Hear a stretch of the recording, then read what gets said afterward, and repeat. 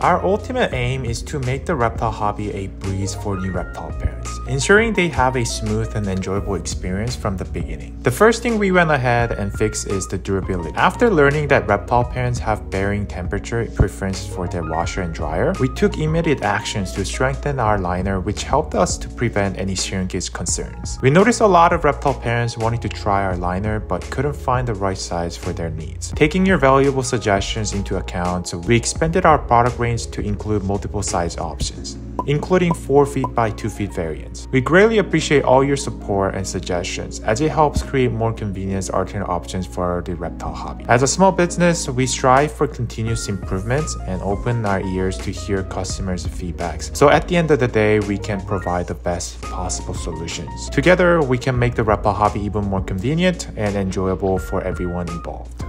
In the next video, we will share another upgrades that we have made to our 2.0 Premium Reptile Liner.